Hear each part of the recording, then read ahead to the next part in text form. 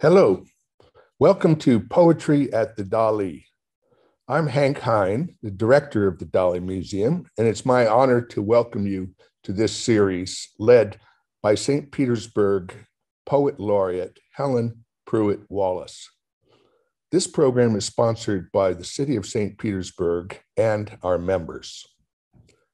We have a very special program today writers who also edit journals that combination of creation and facilitation is a magical thing, and you will be delighted with what you hear. As is our tradition, we begin the program with a poem by Helen Pruitt Wallace. Helen, thank you for curating this program. Thank you so much, Hank, and thanks to all of you for tuning in for the Dali Poetry Series. We have a, a wonderful program um, for you this evening, and we're so glad you could join us, especially especially during these dark days. It seems we've had a lot of them over the last couple of years, but um, we're glad to have you with us. Um, tonight, we have terrific poets. We have Philip Fried, who will be um, reading his work and then discussing his journal, um, the, the journal he edits, which is the Manhattan Review, um, a terrific journal.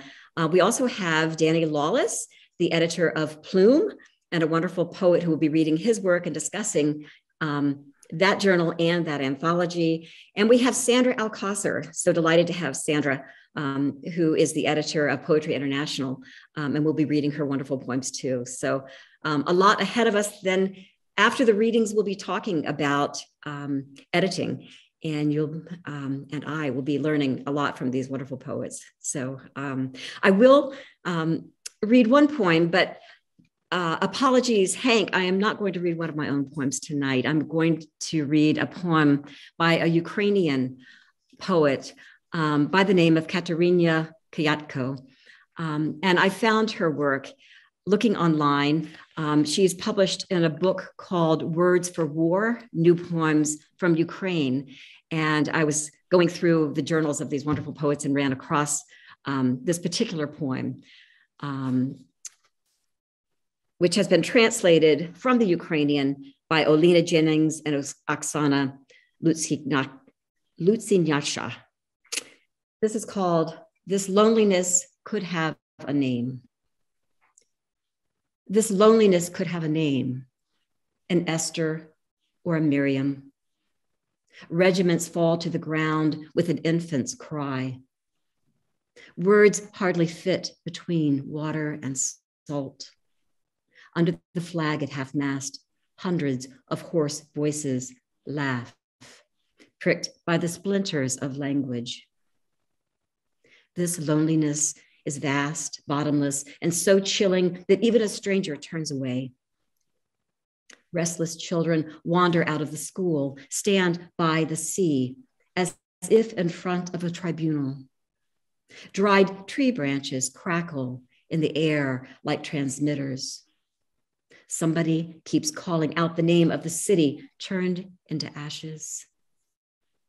This loneliness could be named Sevgul or Selima.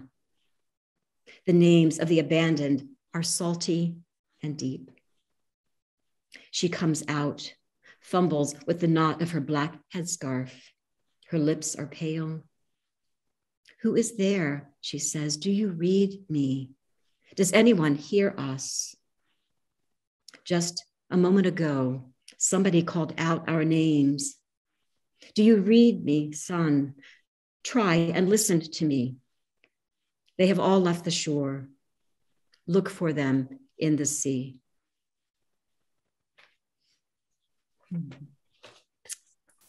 Okay, so to start this evening's program, um, I wanted to give you first uh, the bio of Philip Fried, and he's going to read his poems to kick us off. Philip Fried has published eight books of poems, his most recently Among the Gliesians, which is published by Salmon Poetry, Ireland 2020. His poems have appeared in numerous journals and over 20 anthologies. Wow. Um, recently, Carol Rumens selected his poem, Yoga for Leaders and Others, for her anthology called Smart Devices Poems for the Guardians, Poems of the Week. In addition to writing poetry, Fried is the founding editor of the Manhattan Review, which started back in 1980. And that, of course, is an international poetry journal. Please join me in welcoming Philip Fried. So nice to have you with us, Philip. Thank you, Helen. Thank you for the wonderful opportunity to read in this series. And I just want to acknowledge the honor of reading with Sandra and Danny, my fellow poets. And I want to express my gratitude to Jessie Lendennie of Salmon Poetry Ireland, who's published my last six books. The first poem I'll read is entitled Voice. Voice is a pretty amazing thing, said the lead researcher for an experiment to implant connective tissue and lining cells from healthy vocal cords into the muzzle of a jammed Kalashnikov, reviving the keen patter of one whose speech had unexpectedly faltered. We don't give voice much thought until it goes wrong, he added. It's an exquisite system and hard to replicate. When the transplanted folds of tissue in the AK were triggered, they spoke with the same penetration as a normal, forceful voice, and therefore could pierce irrelevant objections of walls or of common vehicles' metal bodies equally well. And cogent arguments remained intact even after making contact with bone.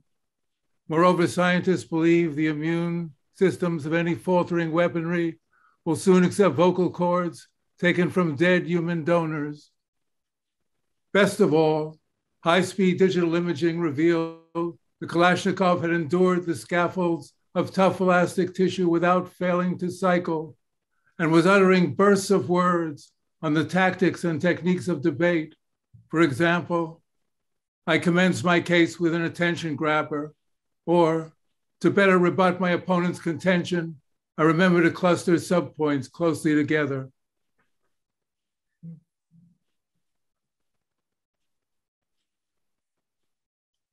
This next poem is an ethnographic report from a planet that's many light years away from the Earth. It's called a planetary pastime. My informant brought me to a stadium crater where fans gather to follow rubble wrestling.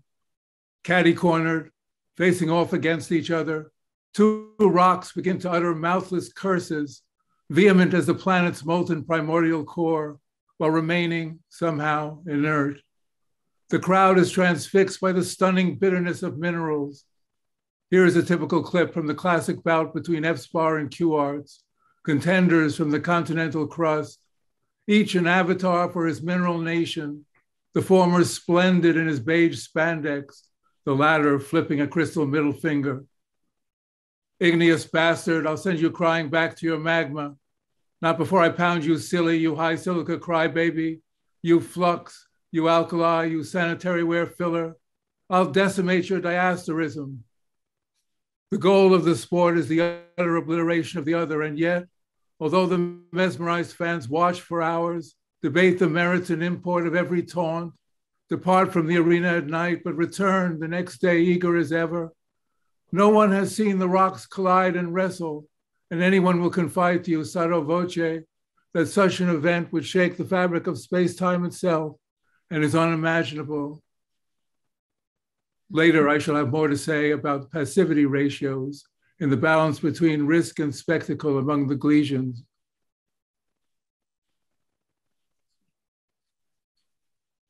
This next poem is a poem not in three stanzas, but in three tweets. then the Lord answered Job out of the tweet storm. So what? I did it. Afflicted you in every possible way, just to win a bet. Now you'll understand that the sanctimonious odor of your days, your slaughter of time and pious ritual is nothing to me. What the void at my center craves, and you must agree it's a magnificent abyss, is absolute loyalty.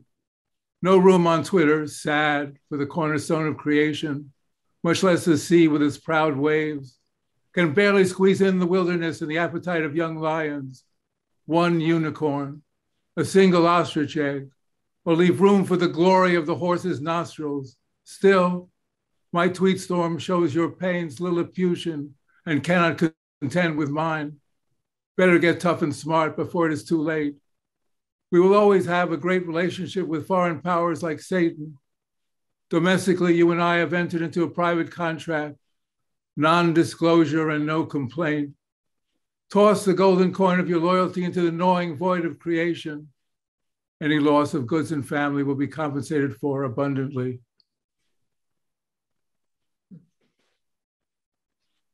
This next poem is a contemporary version of a medieval Scots ballad called Twa Corbies Two Ravens.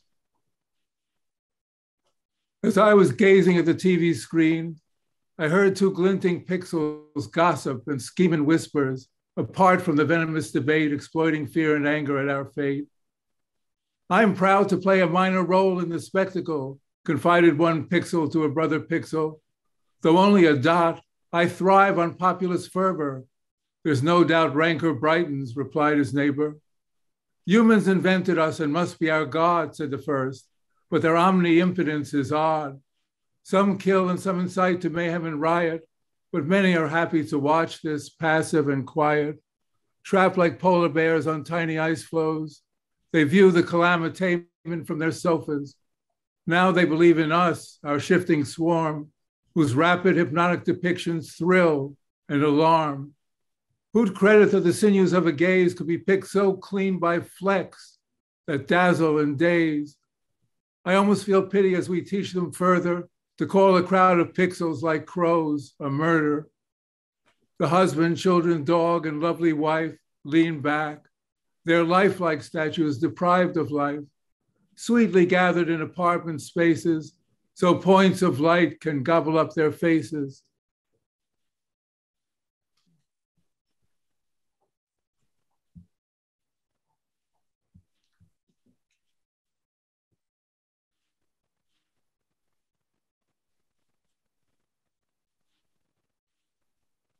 I was born in 1945, about the same time as the Battle of the Bulge was going on in Germany. I wanted to write a poem, which was kind of a narrative of my birth and somehow connected with what was going on in the wider world outside. It's called The Battle of the Bulge. Conceived as the world was ripped by cataclysm, I was at first a solipsist, immersed in the amniotic puddle, alerted or lulled by a heartbeat that was jittery or stable submerged in her and believing we were I.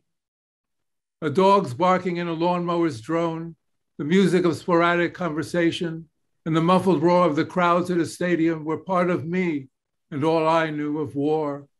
Sounds without sources heard through her rushing blood.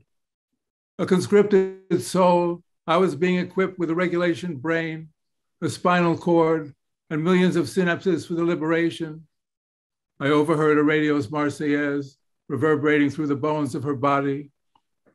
Later, I caught the authoritative tones of bulletins on the Battle of the Bulge, and though ignorant of military strategy, I mastered the tactics of flutter and kick, but afloat in her, I couldn't, like a soldier, crawl on my belly.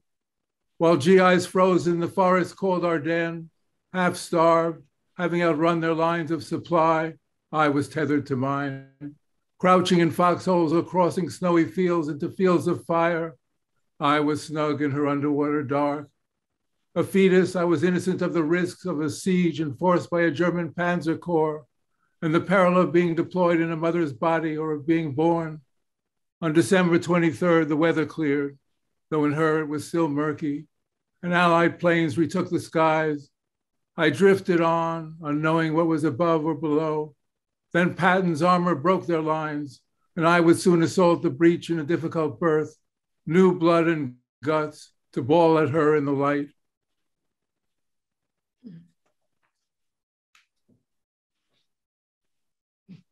This next poem is a soliloquy.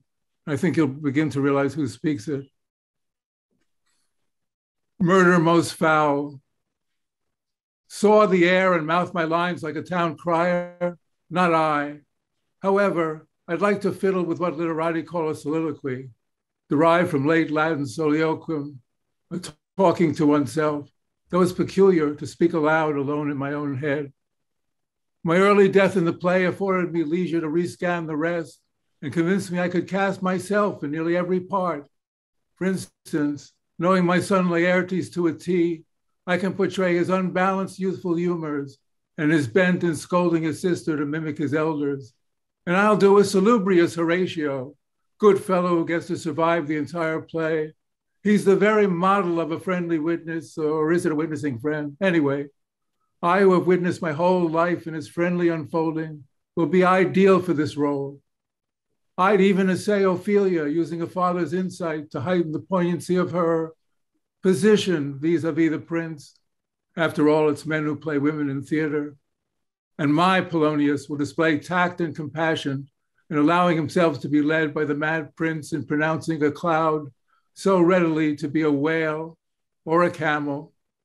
Polonius, whom the prince regards as a chamber pot sloshed with adages, an arras lurker or bag of guts to be lugged, is a courtier loyal and true to Claudius, whose kingly manner I've narrowly observed as a basis for a persuasive impersonation.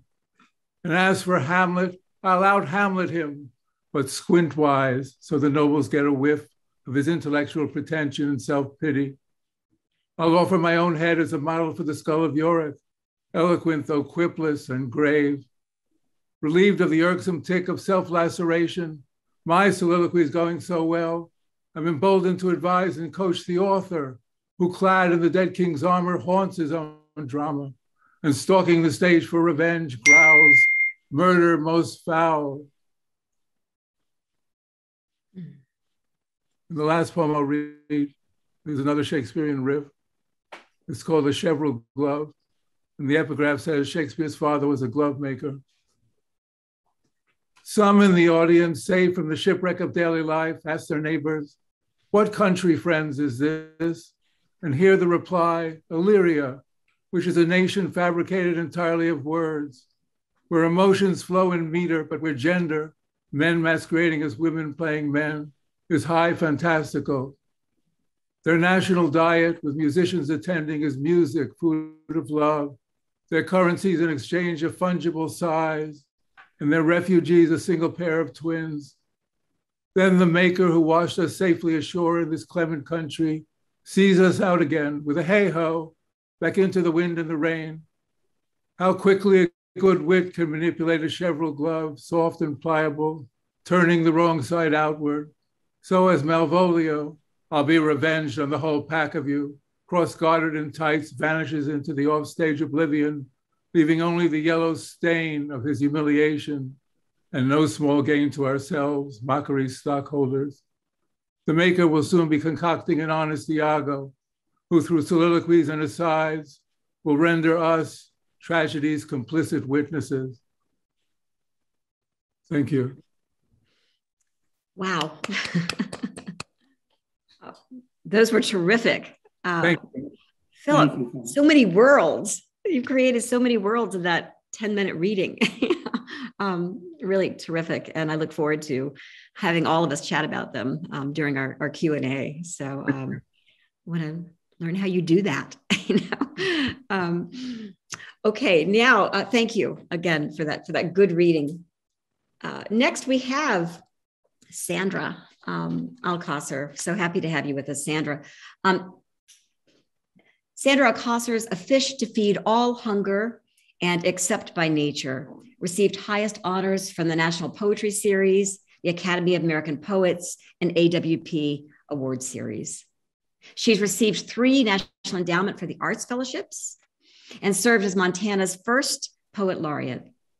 She directs SDSU's MFA each fall and is the editor of Poetry International. Her, her poems have appeared in The New Yorker, The New York Times, Paris Review, Poetry, and Pushcart Prize anthology. Um, welcome, Sandra. So glad to have you with us. Thank you, Helen. And um, thank you, Philip, for a, a stunning line. Um, Your pain is Lilliputian. I, I, I, I, I, I, um, I think I'll probably use that this week. um, when I thought about uh, what I would read today. And the, the, fact that when Helen got in touch with me, she said that we would be talking about our editorial work. And so I decided to theme my reading around collaboration because it's what we're doing as, um, as editors and on the other side, very much so as poets. And so I'll start with the easiest one. Um, Prairie Schooner invited me to uh, give them a poem on clothing for a special issue that they were doing. And so it's always that moving, moving around in the dark. Um, I I sent them a poem on, um, I sent them on a packet of, uh, a packet uh, on old clothes, wedding dress, men marching naked on the beach. Um, and the one that they picked was the one that had the tiniest bit of cloth in it. And this is, this is, it was a surprise to me. Uh, it's called Motherese. When the skinny girl streaks by, I long to be her, maybe 13, a blue carousel tattooed around her left thigh, just below her cutoff jeans. Not a younger version of me. This one sliding fearlessly down slope on a skateboard. Follow me, she yells at the hidden side of a tree. To another girl I cannot see the shy one who would have been me, and I become the mother of a brave daughter who glides with utter joy, occupying an entire college campus late July. A rhythm to her giant glasses, ponytail, and legs, nav- negotiating each crack in the pavement. We weave in and out of shade, 90 degrees, my mind racing ahead of her life.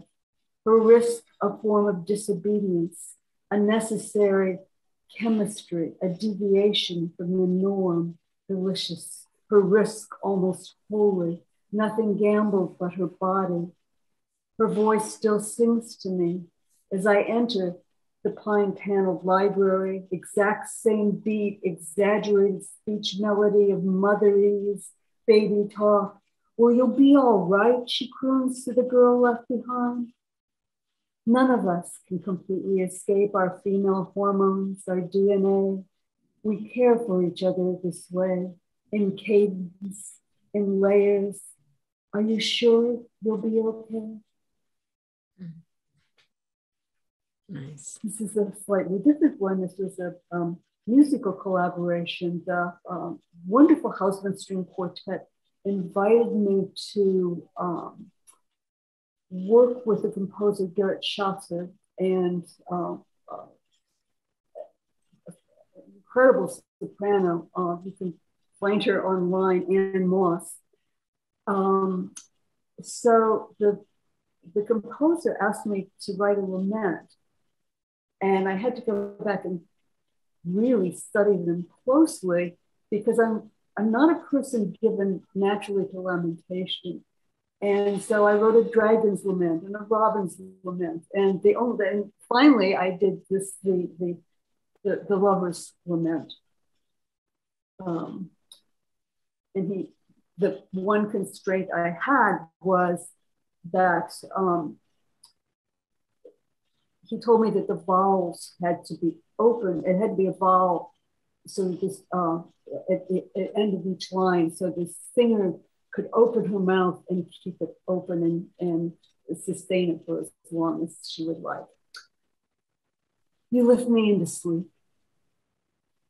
A teaspoon of powder, a teaspoon of honey, a little yellow meal, an egg, a cup of sweet milk, and I can carry corn cake and a glass of tea for each of us.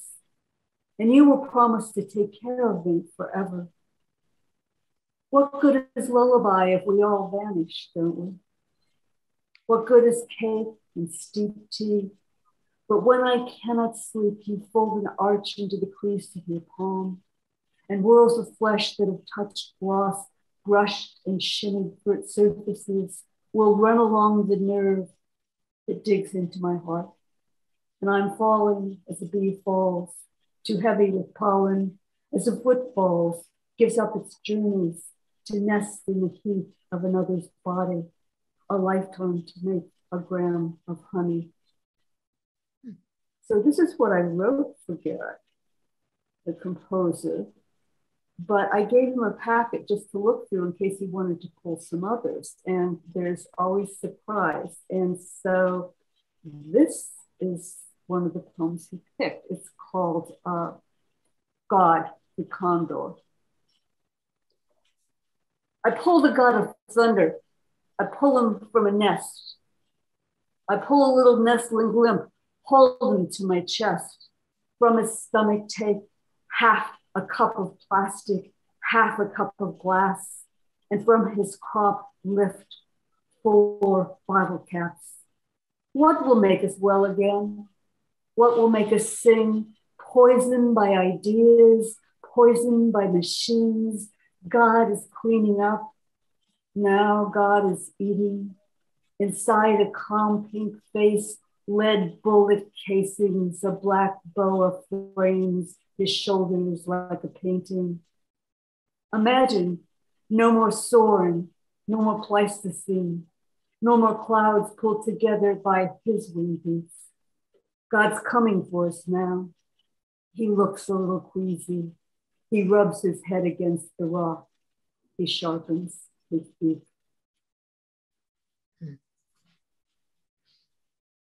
And I'll tell you, I this didn't all come together until we did the world premiere of, of Lament. And um, to hear Ann Moss sing that was an extraordinary event for actually, I, I know it was for me, but everyone said it just gave them all chills. Mm-hmm. But this was another one that he, he, he um, used in the, the lament. So he starts out quite gently with this one, Murray for Boris. Coming home, late spring night, stars of foreign language above me. I thought I would know the moons like family, their dark plains, sea of crisis, sea of nectar, serpent sea. How quickly a century passes, minerals crystallize at different speeds, Limestone dissolves, rivers sneak through its absence. This morning, I learned painted turtles sleeping inches below the stream bank freeze and do not die. 15 degrees Murray for sea of cold, second quadrant of the moon's face. I slide toward the cabin, arms full of brown bags, one light syrups over strips of snow. Night rubs icy skin against me and I warm small delicates, cilantro, primrose close to my body. A hundred million impulses race 300 miles an hour through 17 square feet of skin and gravity that collapses stars, lifts Earth's watery dress from her body, holds me with such tenderness I hardly breathe. And now um, I, I decided that I'd like to uh, do share a collaboration that originated uh, right.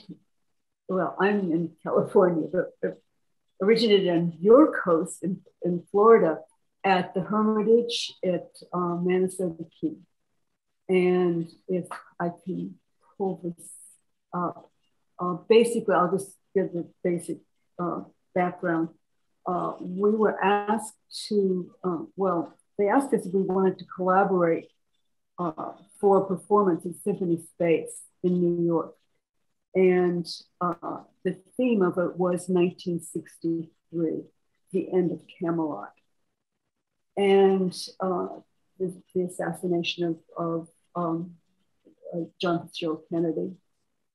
And it was so interesting because when I started thinking about what I wanted to, to write, most of the voices at that time were strongly men's voices. Most of the leaders were men, and I couldn't find a voice that fit well until I thought about one of my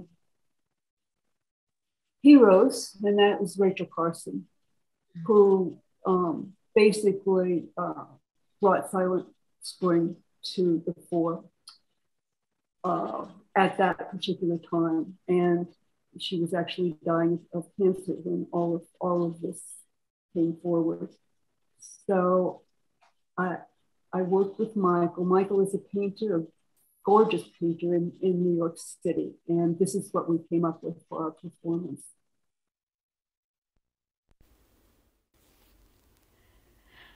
Nineteen sixty three, and the earth said, A little less poison, please with rustling sounds through fallen leaves. The sparrows flitting under stores said, Yes, please, less for me. The ant hoisting his brother's body in the nest said, Yes. And sharks feeding in the sea, and fish eagles building cribs of mops and lawn chairs, yes, and vultures who couldn't stop eating, could not stop eating a little less 2,4-D, less DDT and BHC, a little less in our well, a little less in our bloodstream, from the nerves of earthworms to the ovaries of thrush and their exquisite melodies, for everything eating and eaten, a little less poison, please.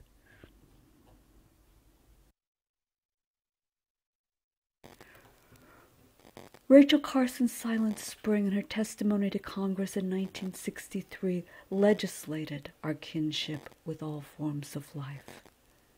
The oldest creatures in the world make love. At first I thought they were the buff leaves of the sea grape floating toward me as I stood in a keyhole cut through mangrove and tried to walk into the cool bay. Jingle shells cut me, and then the wake carried them forward, each breathing like a face, and I knew these were not leaves, but creatures. Rays, perhaps, and they came so close I stepped away and studied a bubbling as lost in reverie they crawled toward my naked feet. They rose like marbled end papers in the brain, these ancient shapes that illuminated our grade school manuscripts, each shell with ten eyes soaking its coppery body in moonlight. What did she feel, I wondered, as he held on to her so gently from behind? Was she designed for pleasure? Was he? What part of her flowered as they floated like buoys, bobbing together? I knew how a god might feel standing above them, milky froth trailing their hems. Weren't these the oldest beings in the world? What is this texture of seeing if there is not a God? What is this capture we feel from above and within? Mossy green bay with little more than slapping mullet where one might live unmolested, unseen, where I watch two horseshoe crabs, tender coupling, as I hoped once a god watched me. Sandra, thank you so much um, for that wonderful reading. Um, I love all the sounds of your words. I'm hearing a lot of um, rhyme, a lot of internal rhyme, not seeing them on the page. I'm not quite sure if they're technically forms or not, but I look forward to um, maybe all of us discussing that in, in our Q&A. Um, mm-hmm and um, and the video also will be so wonderful to be able to see. So uh, mm-hmm. thank you um, for that terrific reading and, and performance. So lastly, we have um, Danny Lawless. Um, many of you have seen Danny on our program before, and we're so happy that he was able um, to join us again for this reading and then also the discussion about editing, um, which we'll have in a few minutes. So Danny, welcome back to the Dali. Um, Danny Lawless's book, The Gun My Sister Killed Herself With, was published in 2018.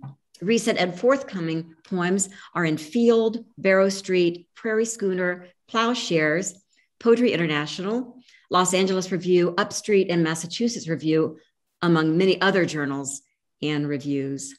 Danny's a recipient of a continuing Shifting Foundation grant. He's the editor and uh, founder of Plume, a journal of contemporary poetry, um, and also Plume Editions and the, the annual Plume Poetry Anthologies. And that's what he'll be chatting um, with us about in a few minutes with respect to editing.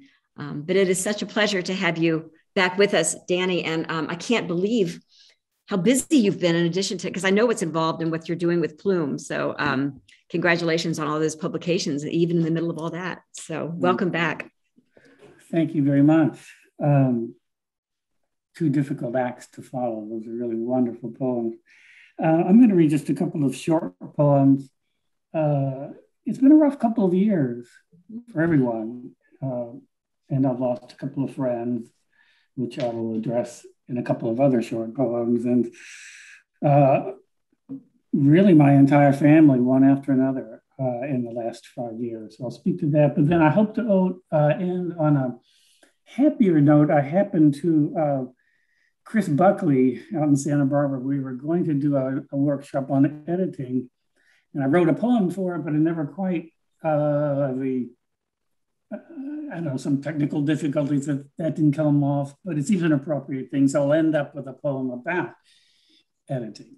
Great. Uh, so, okay, the first one is called, uh, it's from a series that will be in the next book. Is uh, The series is called Definitions, self-explanatory. Um, the first one's called uh, Freudenschreck.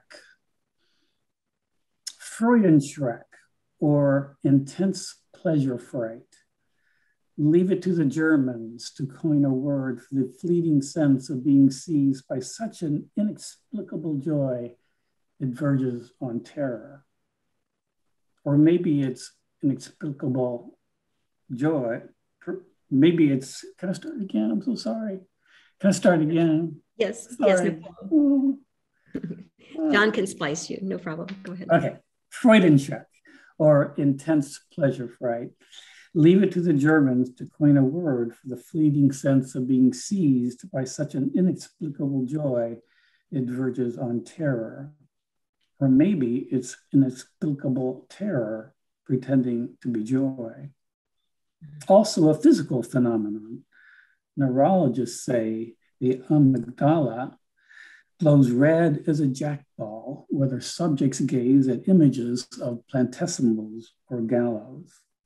Picture a joyride, the Appalachian pin brides of Eugene Meatyard. Put yourself in the shoes of Ayana Clemens, 44, of Peru, Indiana, a longtime congregant of the Endes Christian Church, according to the Gazette who may have had a seizure that caused her to shiver all over.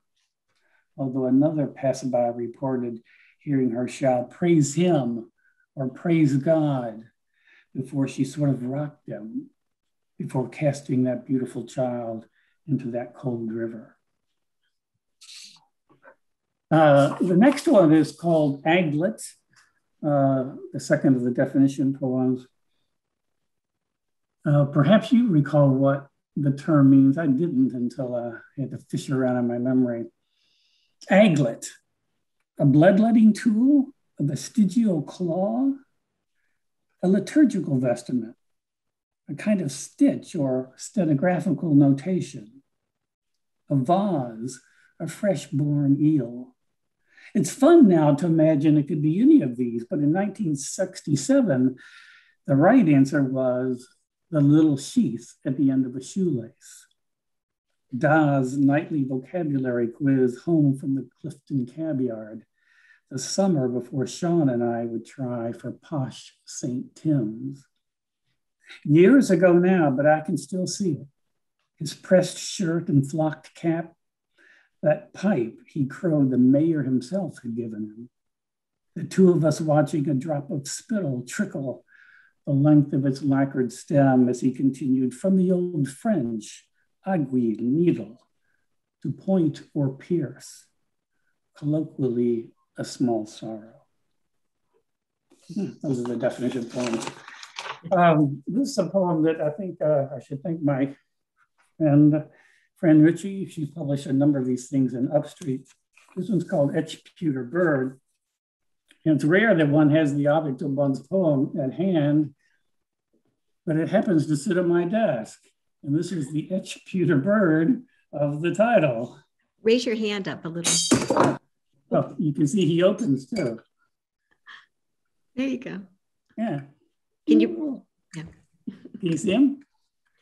I could try one more time, a little higher. There you go. Okay. Yeah. Okay. All right, that's it. That's it. That was the genesis of this poem called Etch Pewter Bird, uh, about a loss, unfortunately. Etch Pewter Bird, you who are empty and so neither desire the expensive organic seed mix or require the attentions of the fastidious vet, who do not cheep so psychotically cheerfully that sometimes I want to throttle you. you who do not retreat coyly from my outstretched hand or tremble wildly if I hold you, who never once perched spitefully in the branches of the thorny locust tree behind the garage after I left your cage ajar in summer, or in other seasons mockingly eluded my ridiculous broom. You who fix your Aventine eye indifferently upon me at all times, unlike real birds who think regard me at all, regard me suspiciously or skeptically and keep their distance as if they were tourists guarding their passports. You, in other words, little generic etched pewter bird on my desk, who should signify nothing at all to me, in fact. Except from the across the country, the news arrived not 80 hours, not eight hours ago yet, this windless December night, that my oldest friend in this world is dead. And there isn't anything she or I can do about that. And my heart, oh, my stunned heart, on its cupola of ribs now is cold now, as your weather vane double, nameless, hollow, not hawk or sparrow. Mm-hmm. Uh, and I'll do um, a happier one and then the editorial one, and we'll be done. Uh, this one's called Boyhood. Oh no, there's a there's a terribly sad one. I should definitely read the terribly sad one, right? Ah, here it is. Here it is. Um, my brother and my sister both uh, succumbed to schizophrenia at age 15. And um, this is a, we have a lot of family photographs. And this was about my brother who um, was just about that age. And I can see in his eyes, somehow I think, that he knew what was happening and what was to be. It's called Family Photographs Solar Eclipse 1965. How happy you were to be 11 and unconcerned for once with schools, the Cubs, who hated who. For a few minutes to be unlearned, to be taught a new world. Oh, distant boy, how marvelous it all must have been to be turned into a ghoul with your friends to spurn the murmur of grown-ups with their balls and hair on the deck for a lowering sky burned sepia orange. At three o'clock to feel yourself disappear inside yourself, to cast no shadow. And so long ago now, how did you put it? The delicious, insistent thought, what if it stays like this?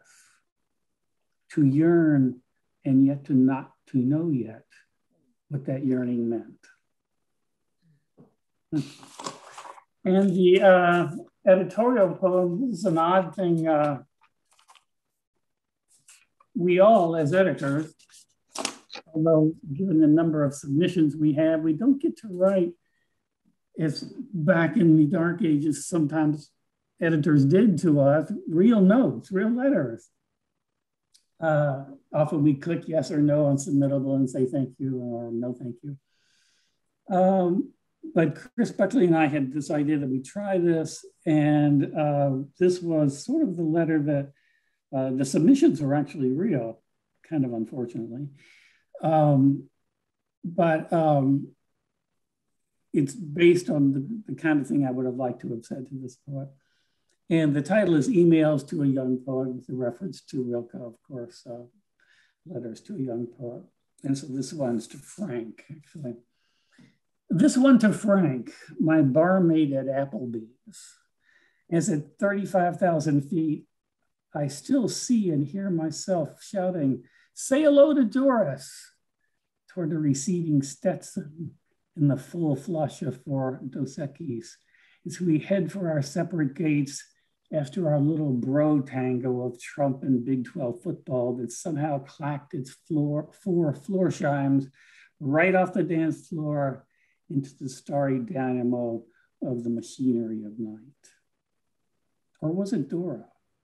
Anyway, although somehow I don't envision you as the type to be caught cowering in your in unshaven rooms in your underwear, or burning cigarette holes in your arms, protesting the narcotic tobacco haze of capitalism, I could be wrong.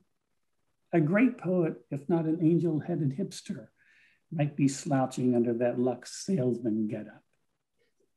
Okay, maybe not a great poet, though not terrible either. Like most of us, you have your moments. I'm thinking of the best one about the otters, their steady gaze upon me like the blank pages of old calendars. I'm not sure what it means, but I sense something wise here, something zazen that doesn't do time or regret. Or maybe I'm jealous. The otters I've met mostly have taken a look at me and skedaddled little pouches under their arms where they keep spare rocks to hammer open sea urchin shells, you say? I didn't know that. It reminds me suddenly of my uncle, uncle Alejandro, whom I adored, a hairy little man with big enemies who carried a derringer in his pocket through the dim alley, alleys of Cicero, Illinois. And who would have thought romp or raft was their group name? That some contra sea urchins are actually ovo vegetarians. Do you know the word sapiosexual? It means a person who finds intelligent to be the most attractive feature in, the, in a human being. Noble, but in the end doomed. The first girl I kissed on the lips was a budding 15 year old Egyptologist. Her thin tongue slithered in my mouth like a dry hieroglyph for a few seconds, and that was that. Into her cousin, lie the big breasted Ophelia. What I mean is, these artifacts are good things to know, but not the lingering scent of gymnete on your neck, not one ragged, unpainted toenail. They lack privacy and magic. What else? The word empire, not to nitpick, but while I can imagine myself as an otter on the shore bowing to an otter king, waving his paw when he floated by on his back, I'm not sure his fur regalia would be different from mine. Would he sport epaulets and a crown of some kind like a cartoon, or do you mean in the Orwellian sense? All otters are kings, but some are kinglier than others, smarter or fatter, their coats glossier, perhaps. Explore? And wouldn't he be on top of, not inside, the royal carriage of the river? Then things really go haywire. In stanza three, the black fluidity of space, the emphyry of the frontal lobes, sounds to me like Heraclitus and Arthur C. Clarke have been standing a little too close in the poetry elevator. And how does this relate to consciousness exactly? By the time a few lines later we get to the giant, your father. In his shirt front, confettied with scattered Pall Mall flakes. You've lost me. The otter has lost, left the building. So, Frank, imagine me putting on my editor's hat. Unfortunately, like the others, loneliness with otters is not for us. And now putting it back on again. Maybe it's not for anybody. What I mean is how to say it. I'm no horticulturist, but a few days ago, I was leafing through one of my wife's international field guides and came across an orchid called the Rhizanthella gardneri, dime sized. Apparently, it lives its entire life unseen, compressed in underground crevices in Western Australia, where over generations its scent develops wild, unheard of intensities many multiples of the common rose. Does that help? Or what's the line? The bird the painter doesn't paint that makes the whole sky bluer. Something like that. On a personal note, decades ago, I did a good thing, a small thing. involving black ice and a station wagon full of teenagers, but told no one. Just the thought of it all these years is like a nightlight in the back of my brain, illuminating some pretty dark stairs, a lot of gray, solemn afternoons. Anyway, sorry, gotta run, buddy. I can see the lights of Newark from my window seats, Christmas ornaments smashed to smithereens. Gotta unplug, gather up all these goddamn cords, stuff in my computer case, and text my brother in law. By now, I guess you're halfway to that convention in Dallas. Maybe you're thinking about Dolores or Dora, scarfing peanuts. Maybe starting to write another poem inspired by the curlicued blue ribbon on the woman's head crowning over the seat in front of you, the way it bobs like an amberjack lure, and then the steady stream of cold air rushing from the little nozzle. I can see that. But Frank, don't. Leave that woman's head alone.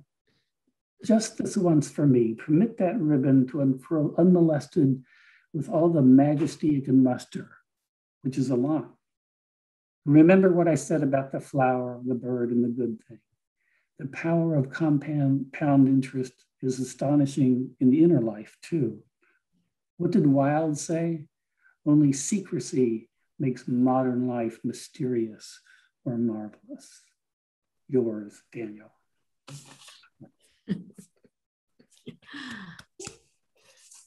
That was terrific, Danny. Thank you. Um, what a what a range of emotion to go from mm. your you know such sad poems then to end to end with that one um, mm. and i guess we'd all be so lucky to have an editor who would spend so much time on our poems whether the work was accepted or not you know so um, i really enjoyed that and it's a perfect poem to end on um, as we segue into this next part of our of our evening um, which is to hear from you all about um, the journals that you publish um, about the maybe the processes that poems go through, um, the process of your decision making as you decide what to include. Um, I have several questions, but maybe first, if you don't mind, um, if you could just tell us a little bit briefly about your journals. And um, I'd love to um, hear first um, from you, Sandra, and then we'll go to Philip and then Danny. So, Sandra?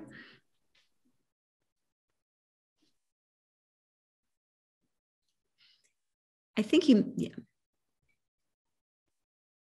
Poetry International uh, is uh, in the process of celebrating its 25th anniversary. It's amazing. And um, I, uh, the uh, first editor uh, was uh, the late Fred Moramarco. And he, I'm guessing, probably was the editor for 12 years and then Ilya Kaminsky for 12 years. And um, now I, am editing it. And um, one of the great things is having had Ilya as the editor of Poetry International for 12 years, set a format that we are that we hope to follow in, in, in many ways. Um, that, if you go look back through earlier Poetry Internationals, um, there were many invitational portfolios. And then they had a few people um, well, there were there was open submissions too. Actually, he claims there were never open submissions, but but somehow we, are, we inherited a huge backlog of poems. So, um, but the other model that I'm following uh, is a, a, journal that I am quite fond of, and that's Ted Weiss's um, Quarterly Review of Literature that was published by Princeton and is really hard to find now. Uh, oddly enough, the University of Montana actually has the back issues, and and um, its portfolios probably for portfolio, usually for port, publication, and it would be the likes of Jane Hirshfield, um, she published, that was her first book, uh, published beside uh, Wisława Szymborska. Hmm. And so um, what we're going to do, uh, because our, our ability to publish, our cash flow depends in large part on an endowment and then on the competitions. Um, and so this issue will be Ilya's, Ilya and I did our last issue was 700 pages. This one is going. I, I have winnowed it down to five, a mere 500 pages, wow. and um, going forward, my managing editor uh, Paula Stacy is looking toward 100 to 200 okay. pages.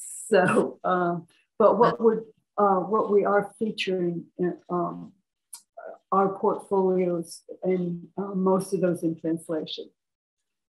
Although the anniversary issue that's coming out, I'm quite excited about, um, it has a, a section of, of, essays from the last, the best essays from the last 25 years, uh, edited by Jenny Minniti-Shippey, a huge prose poem section that has Michaux in it, of course, uh, uh, uh Danny, um, and um, then a series of portfolios that I took um, from um, Iceland and El Salvador and Spain and so forth, and then uh, a, an offering of poems from the last 25 years. And it is going to open with um, this was a surprising thing because all of the portfolios are translations, but I happened to be in touch with Kevin Prufer, who sent me a portfolio that worked so well that I'm actually going to open with his portfolio. So, and it's, it's, it's a good one. I Danny and I have been in, in uh, communication before because I I so love the portfolio that he did of, of uh, Kevin's. And it was purely by accident that he happened to submit this to me. So. Mm, wow! And when does that come out? Um, this spring. In the spring. Okay, wonderful. Yes. Yeah. And the other challenge, and I maybe you all can speak to this, um, were also uh, I, I, wanted to do an online quarterly, but um, again, the managing editor who is the, the, the one who has the most experience. I have editorial experience, but I, being a managing editor is a whole other um, um, expertise. And um, so she wants to just remove our deadlines for the online and just run things as they're ready. So I know I just I just sent you that um, uh, uh, the, the, voices of the of Ukraine uh, that, that we put out as as a folio this last week. Mm-hmm. Which is wonderful. Yeah. It's so important right now. Yeah. Hmm. Okay, well, thank you, um, Sandra, for telling us uh, about Poetry International, and we'll come back with some more some more questions. But Philip, would you tell us a little bit about the Manhattan Review, please? Sure. First, I want to say how impressed I am by Poetry International and Plume. They're really excellent magazines. Mm-hmm. I started the Manhattan Review in 1980 when I just got out of grad school, and I was looking for a way of connecting with the larger world. And uh, my first issue was people I knew and people in New York, and even myself. This is the first and last time I published my own work. I decided that was not the way to go. and uh, one of the things I like best about the magazine is the acquisition, sort of the thrill of the hunt, finding new things and being surprised. I got very interested in Polish poetry. Someone from Chicago, Frank Kujawinski, sent me poems of Stanisław Baranczak, and I loved them. I started to get more interested in Polish poetry, and I did an issue on Zbigniew Herbert in hmm. 1984. Wow. And so the magazines are connected to each other by this sense of being continually surprised and finding new things and trying to put American poets in the context of international poetry which po- Poetry International and Plume do so well. And um, I like to have the two, two types of poets, the American poets and the international poets side by side. In the last 10 years, I've been doing a lot of poets from England, not as special features, but as sort of continuing, following the same voices. I have English voices and American voices side by side. Philip Gross, George Szirtes, with Dean Nurksa and Marilyn Hacker, and keeping that strand going. And the magazine has become an annual because that's about all I can manage. Mm-hmm. So they're getting larger and larger. it's becoming almost like a semi uh, kind of an anthology as well as a magazine. Mm-hmm. Remember, Ted Solotaroff used to do a fiction magazine that was also sort of like an anthology as well. So that's a quick summary. Yeah. yeah. Wow. Well, um, so yeah, I'm struck by, I mean, the length of the length of those. I can see how resorting to an, an annual would be um, would make it a, a, little easier to do because you don't want to sacrifice quality. And um, um, that's that's when will you when will you have your next? Um, will your next one be an annual then? Yeah, so they come out in November. Okay. Mm-hmm. Yeah. Terrific. Good. Good. Um, Danny, would you tell us a little bit about Plume? Because of course you are continuing um, to you do your annual you do your anthologies, but you also have the journals, and um, it's it is a lot, I know. So would you tell us a little bit about about Plume, which is it such can, a it can be a lot. Um, it certainly was in the early days when I began. I really was just myself doing. I just I was doing it, trying to do it all. Uh, but we started, there were 25 years of Poetry International uh, with um, Philip. So you were in 1980, Philip? Yes. Wow. And Sandra, when did Poetry International begin? 25 years ago.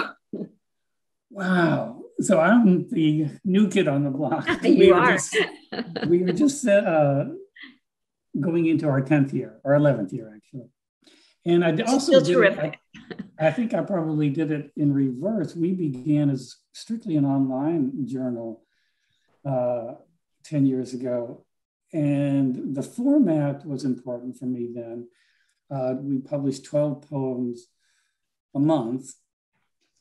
And um, then sometimes they're brief portfolios where it's kind of a name only. There are 12 poems, are 12 contributors, but maybe someone will have five poems or two, three poems. Uh, and then we had a book reviews and then an essay and um, some other things. So it's kind of a, gotten longer as we've gone on. Uh, and then it quickly dawned on me that there were a couple of 10 years, even 10 years ago, there were people, and re, there remain a number, not a, not a lot, but some poets who simply will not publish online and prefer, will publish only in print. I'm thinking of three as I speak. And they're wonderful. Uh, but I thought maybe this is not so good uh, an idea. So we then we started the anthology, the print anthology uh, in year one. And it turned out to be symbiotic. I would um, write to people just out of the blue saying, look, I'm doing this anthology. And I'd ask for two poems from them uh, one of which I would publish in the print anthology, and once one I would hoard and keep for the um, online editions of Plume. And um, that lasted for, those lean years lasted for a few, probably five years. And then eventually I got some a layout person, and now the staff is just wonderful. I mean, I feel like I have less and less. It looks like a lot that I'm doing, but really not so much. I mean, they take care of a lot of it. And um, even help read the submittable. Oh God, it's so cringy. You know, look at submittable and there's 500 poems you have to mm-hmm. read. And uh, but I have to do less now because I have a wonderful, wonderful staff. Uh, and I got a continuing grant that uh, pays for all this. So I, I've been very fortunate. Mm-hmm. Yep. And I've learned, I've, I've been able to learn from Philip and from Sandra and from some others. Mm-hmm. Yeah. Well, they are all three such wonderful um, journals, and all of you correct me if I'm wrong, but I, I know, of course, Poetry International and, and also Manhattan Review. But but Danny, you also publish international poets. Yes. Um, and so, if you don't mind, if you would each talk a little bit about that, I'm curious because um, I'm, I'm wondering if you found your own writing, your own writing styles, um, how that may have um, changed over time as you have become increasingly aware of editing your, the international poets who make their way into your journals. Um, do, are you are you noticing any shifts even in your own writing style as a result of the influences that you explore um, through their submissions? Anyone can start. I feel much more a part of that world than I, I did before. And it, the one place that I notice um, a difference is when I'm, well, for instance, this semester I'm teaching the, uh, the graduate manuscript workshop. And so I'm looking at um, primarily right now, although it changes, we, we often have international poets um, in, in the workshop, but right now, um, for the most part, they're, um, they're American or Latinx, meaning they're, they're going, because we're, we're a border university. Mm-hmm. And um, it's interesting to to see their poetics that come in waves change um, and to compare them to say um, Eastern European poets, for instance, which is another. It's a I follow uh, Philip's uh, read on that. I'm a, a big fan of, of, a number of, of Lithuanian, um, Polish, uh, Ukrainian, and so forth um, poets. Um, so, as far as influencing my own work, um, I was fortunate to have Ilya teaching um, beside me for, for, for, for 12 years. We mm-hmm. taught together, but when classes would finish, we would have these really animated, heated discussions till three o'clock in the morning about about poetry. The, the one thing he would always say, oh, yes, but is he a great poet? you know, and so, um, and so I think that that helped um, also grow that uh, poetic. Um, so yes, it's had an influence on, on my work. Mm-hmm. Yeah. It's, it's, it's interesting to, you know, it's like having multiple personality disorder, just travel these various worlds and yeah. to be influenced by them. Mm-hmm. Yeah. Good. Thank you. Yeah. Philip, how about you? I find that I was very influenced by Polish poetry, sensing the power of public poetry people like Herbert have encouraged me to, to write in that manner, or at least the, the strength of public poetry. So that, was the definite influence. And Can also, a little bit more about that. Um, give us an example, or when you were, how would you say it's made you uh, want to write a little bit more of the public poem? That's an interesting. I admired, I admired their their wit, the employment of wit, in public poems, like Barańczak had a poem about these, this, these words, these very same words mm. can be used for, for this and for that. Mm. He strung it together in such a witty fashion, but also very, a witty poem can also be very impassioned. Mm. To see that combination of things, mm-hmm. very mm-hmm. encouraging. Yeah. And so I think I, I try to do something similar in my own work. And then I was, in George the British poet, he came from Hungary during 56. Someone with an Eastern European sensibility and wit, but who was very involved in poetic form, hmm. very conscious of form. So I like that combination of wit, form, and impassioned public statement. Mm-hmm. That combination appealed very much to me. Mm. I was learning from the poets that I was selecting. Mm-hmm. Mm-hmm. Yeah, that's so interesting. And I think I heard some of that in your poems. um, as well as multiple layers of diction um, you know, that seem to come through, which I, I like the play of your of your diction. You know, with, um, uh, I'm thinking of your your multiple worlds, your the kind of a sci-fi sort of thing, and and you know, the extraterrestrial uh, diction that that makes its way into your poems that are still big ideas and lofty, and you know. So anyway, I think I, I hear a little bit of what you're talking about um, in your own poems. So yeah, that's wonderful. Thank you, Danny. How about you? Um, I, again, I went at this backwards, I'm sure.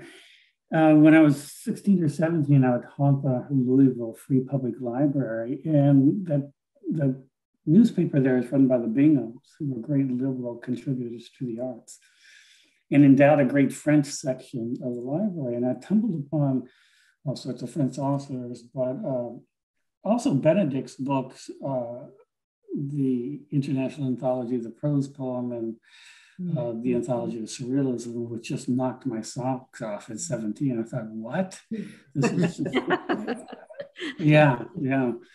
And so, uh, kind of you know how you do, you follow the breadcrumbs and uh, went to Jarry and Artaud. But uh, eventually I found also uh, Follain, who I think should be read yes, yes, much more than yes, he is. absolutely. Just a master uh, he is the, in some ways, the French cynic. I don't know. I, there's that element always of the uncanny in his work. Uh, and Merwin, of course, just the best translations I've ever read of Transparence of the World of Follain. Mm-hmm. But so I started backwards. I went international first, and I don't think for 20, I think, you know, I didn't write for 30 years at all. I was mm-hmm. reading.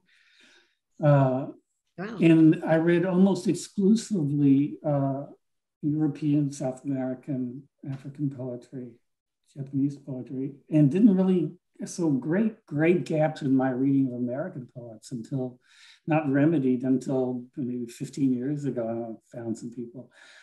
But um, yeah, the the I know what you mean, Phil, about that sort of wittiness, and there's a certain cold-eyed look at the world uh, not cynical, but certainly realist um, in the Eastern European poets, especially, which really thrilled me. In a, in a really kind of stripped down poetry, not a lot of verbal mm-hmm. pyrotechnics, which really, really pleased me. Uh, in fact, when I learned to read French and read the Surrealist I was just so dismayed by how musical they were. I thought that they, as I read them in translation, they seemed so flat, like Nicanor Parra, you know, that kind of flatness, which was just really appealing to me. Then I read them and they uh, that disabused me of them for a little while. Uh, but so, yeah, I took it backwards. And I'm certain that I wrote, wrote, you know, I stole from them all the time and wrote, tried to write like them. But also the poet Cioran was a big influence for me, if you know that uh, philosopher. Say the name again. Uh, I'm probably not pronouncing C I O R A N E M. He's an aphorist for the most part. Um, Hungarian, then moved and began to write in French. Uh, but to my money, and Roland Barthes is a poet as much as anything else. So those guys, those two had a big influence on me as well. And finally, got to the English, the, Americans, and uh, in the in Plume, we uh, Mihaela uh, is our translator, and so she's been great in reaching out. She's got this vast network. She and Michael Waters have this vast network, so that's been a big help. Uh, so I think we we're committed to out of 12 poems, we try to run two or three in translation, two or three contributors in translation, and seven uh, in English. Yeah, in the anthology is kind of the same. Mm-hmm. Follain is Follain is also one of one of my favorite uh, poets, uh, and I see the parallels between uh, Polish poetry and what Follain is doing. It's that shift from the macro to the micro world, back and forth between yeah. macro micro. Yeah. Do people read him? Do you think, Sandra? Excuse me. Do you think people still read him? Yes. My Good. students, my students do. Your students I know that. yeah, I hope that's true more universally. I, I, have my doubts, but yeah, I'm glad that your your students read them. But I'm not so sure. Yeah. One of the things that, um, you know, we always find blind spots. And um, one of the things that I hope to cultivate going forward, uh, happy to, to know certain people who are, whose range is wider than mine. And, and uh, one of those, someone I taught with at Pacific University for 15 years, is uh, Kwame Dawes. And um, mm. Kwame always reminded us of our blind spot when it came to African poetry. Mm-hmm. And one of the things that I'm happiest about is that Kwame and Chris Abani mm-hmm. are doing the Spolio series for 10 years of African poets and bringing mm-hmm. that in. I mean, I know Bly brought a whole, I mean, I know whatever you think of weeping poetry and, mm-hmm. and Bly's translations, but he brought, brought a whole world uh, to us at a particular time. I mean, maybe not oh. to all of you, but I was young at, at that oh. time and, and you know, deeply influenced. Yes. Um, Before Bly kind of went off the rails with the Iron John. Right. He was a, right. he was a major figure for me. Uh, when I read Silence in the Snowy Fields, I was mm-hmm. just, yeah. And then the translations. Well, his trans, right, his translations. Yeah. Were, were, yeah, yeah. And he knew everyone. Right. Before, and he was sort of uh, Sontagian in that sense that she introduced him to an American audience, the Europeans that they should have known. Yeah. But he was, yeah, a major figure with the leaping poetry. Well, and also uh, somewhat not not like Pound at all, but somewhat like Pound in one way. He would yeah. convince people like Coleman Barks to do um, hmm. the Rumi translations yeah. and, and so forth, and pull people in to, to translate work. Um, but Ilya Kaminsky is like this as well. He was on the plane constantly going off to festivals and mm. um, a- around the world and bringing back poets mm. from that. And um, I have been listening. I, I, I have have done some of you know read some of the festivals and participated in the festivals. But of course, then the pandemic. Well, I mean, once I took over the, the journal, then the pandemic hit, and yeah um, I was up in my studio in Montana and not moving. so oh. no one, right? no human. right, right. Mm-hmm. Well, uh, the next question I just want to put out there um, since you all uh, do publish international poets, and given the state of the world right now, what's happening in Ukraine, um, and because I've been enjoying very much uh, what you sent, Sandra, about you know the the, the links to the Ukrainian poems and the forum where they're discussing um, their work. I'm curious if you feel um, what you think about we as writers writing a political poem. I know that in the forum um, they talk about whether or not there's about that line between writing a political poem and having it turned to propaganda. And mm-hmm. um, and there are some poets who say, anytime you make a stand to not write propaganda, you are writing propaganda. um, which I kind of understand how that works. Um, but, but I am curious because then, you know, also I think it's is it Kevin Young who said, anytime you write a poem, that alone is an act of politics. It is a political act. And I do believe that as well. Mm-hmm. So if you could talk a little bit, um, maybe as poets, but also as editors, on your thoughts of the role of um, the political poem um, for, you know, for these days, but maybe for all days. I just am curious about your thoughts about that. Um, would you like to start on that, uh, Philip? I'd almost like to think of it more as a public poem rather than a political poem. Mm-hmm. I think every poem, verbal texture and play, attention to the language is essential. And the, the, when you get into flat statement, is when you sort of get into trouble.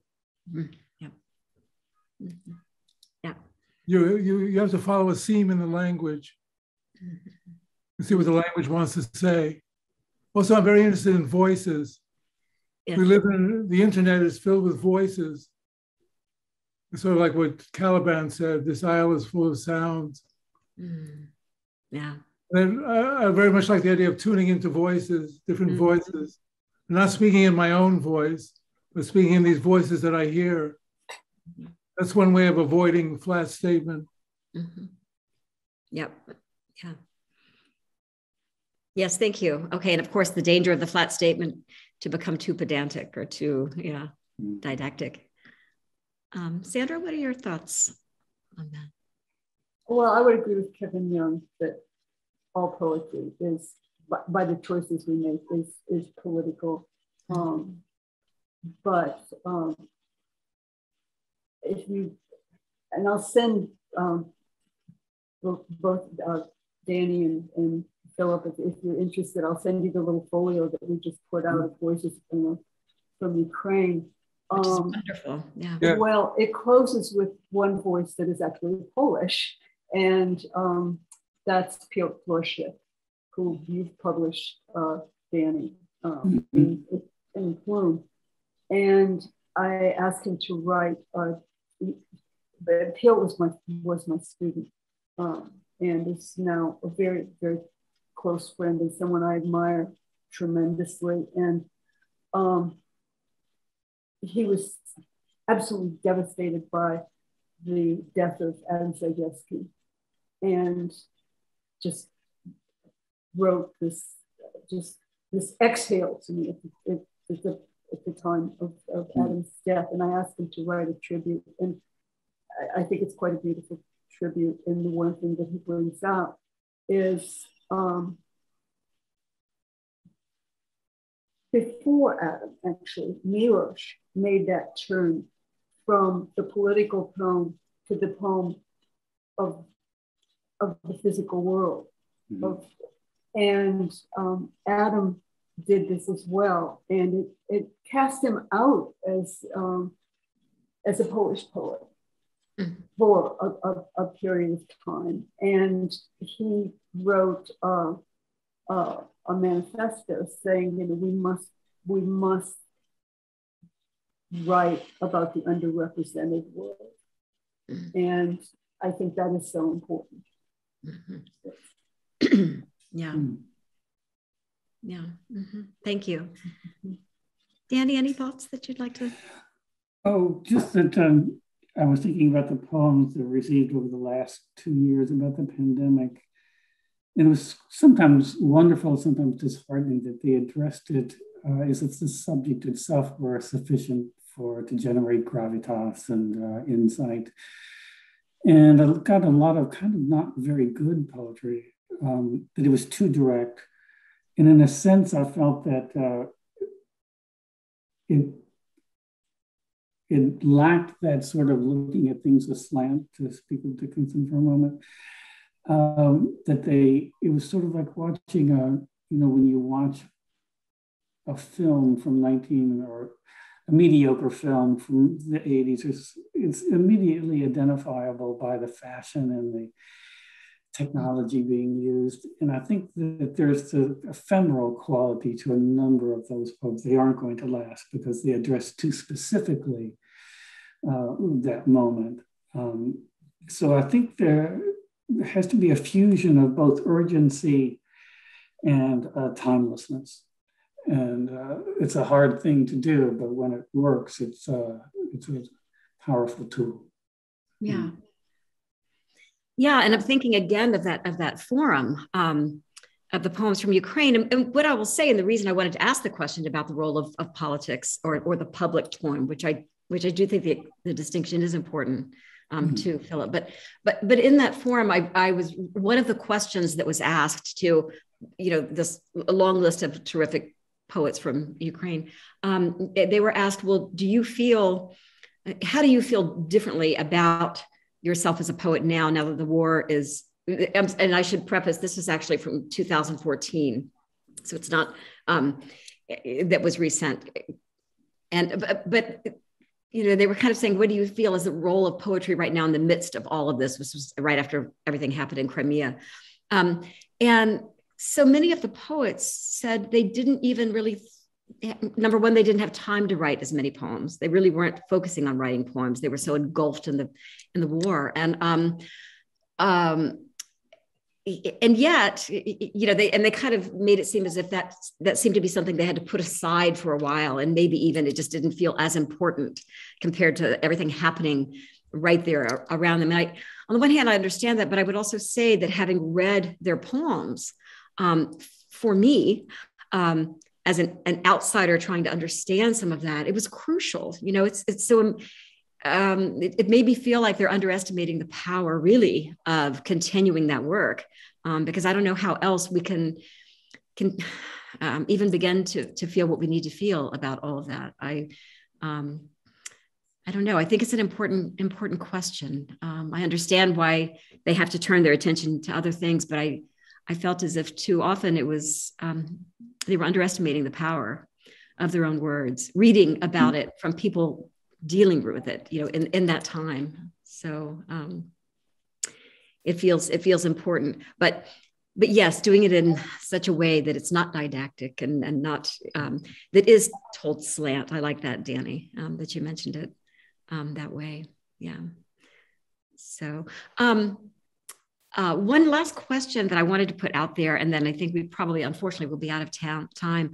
Um, I did hear, especially um, in Philip and also Sandra's works, I did hear, I think, a use of some form. And um, Philip, you were talking about that, and which you know, um, having gleaned some of that from the different poets that you have published over the years. I'm wondering if you all could talk a little bit about your thoughts um, about how your poems may have um, changed a little bit with respect to using form, having published um, poets, so, so many, but such a wider range of poets. Danny, your your forms are, I, correct me if I'm wrong, but maybe not following a strict um, particular form often, um, but still you manage to get in um, the sort of elegant rhyme, internal often, and certainly a lot of sound work into your poems. But would you mind each talking just a little bit about that, um, about the use of forms, traditional or otherwise, um, nonce forms too, that may have come about as a result of your work as editors. So. Sandra? my my change in in, in in in form it sounds positively Ovidian, but anyway, the um didn't come about because of, of any editing that, that I was doing, though it does certainly have an influence on the editing I'm doing now.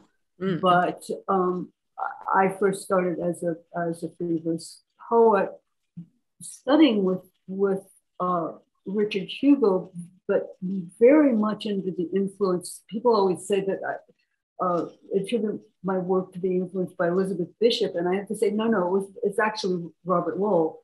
Oh, um, oh. But and and Yeats, and um, then Hugo's teacher, who is a very strong influence on poets in, in the Northwest, and that's uh, Theodore Roethke. Uh, so yeah. Even though I was writing free verse, I was very aware of, of using off rhyme and, and so forth. But I I didn't go to it for any editorial reason. I, I went to form that I, I I thought this next book was going to be all sonnets. Um, I, I, um, I went to the sonnet to put a governor on myself.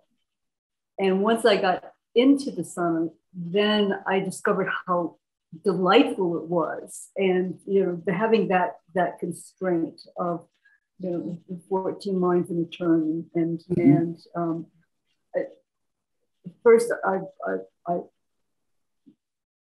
I followed the prosody and then you you feel it's almost parental, you know, what can I get away with with within this? And then, um, though I do think that some people are getting away with too much and calling things songs, but it is, you know, different variations on, on the little song.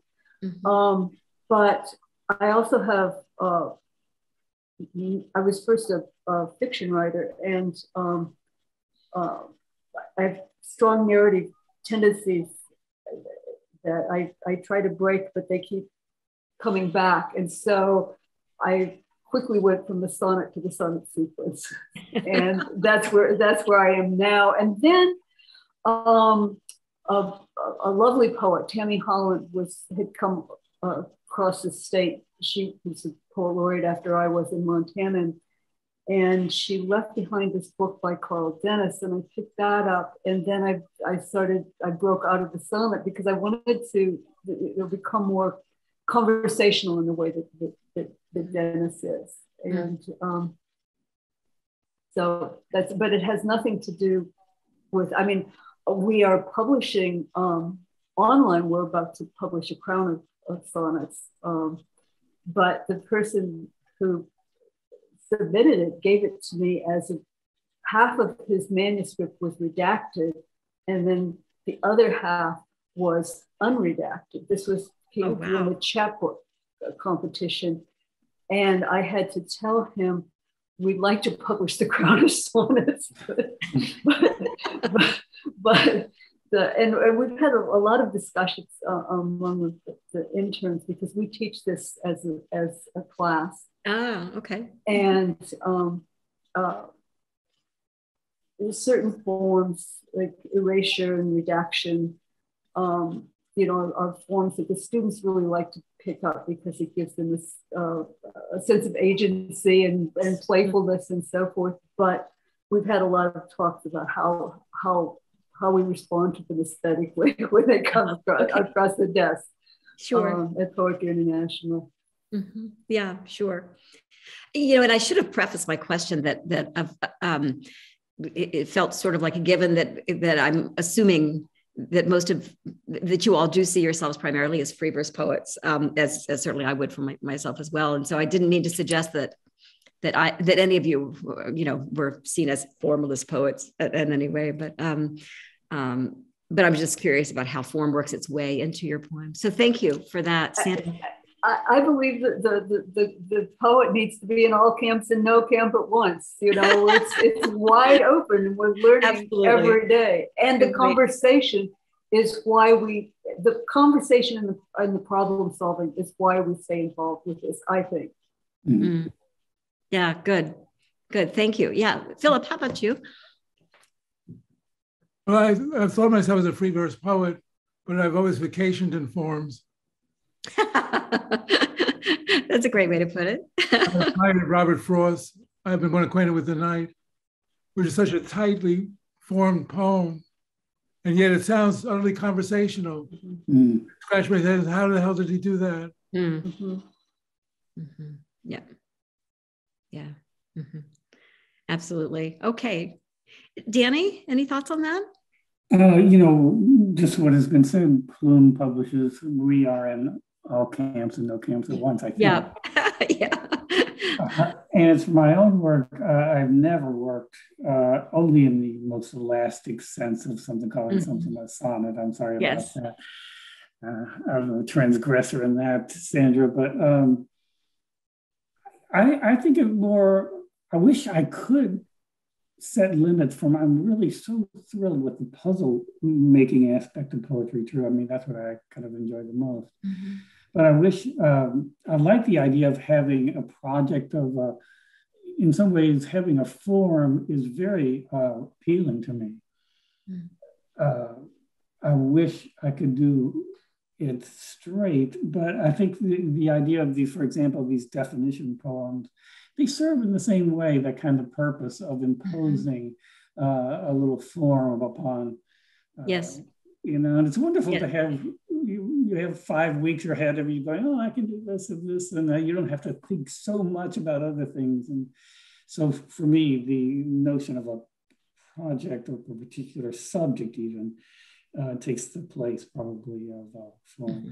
Yeah well, there's so much more that we could talk about, and um, I, I, wish that we had more more time to be able to do that. I think you're absolutely right, Danny. I, I meant to say those the definition poems are so interesting. They they mm-hmm. almost they sort of overlap with list poems, I suppose, and and um, yeah. I, you know, they're really, um, yeah, they were wonderful. Um, but it has been such a pleasure to have all of you um, join us for the Dali Poetry Series. Thank you, and um, the if you will, please let your your friends all know that the program will be will remain up on our Dali YouTube channel. So um, um, if someone cannot join us uh, for this premiere, they can always come back and, and listen to this conversation. And um, I wanted to say thank you again to the Dali Museum for hosting um, the program for us. And uh, thank you, Joy, and thank you, John Fisher. Thank you, as always, to our, our executive director, Hank Hine.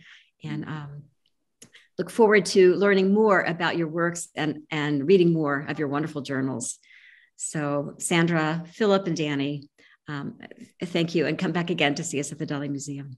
So, thank, thank you. Okay. Thank you. Good night. Good night.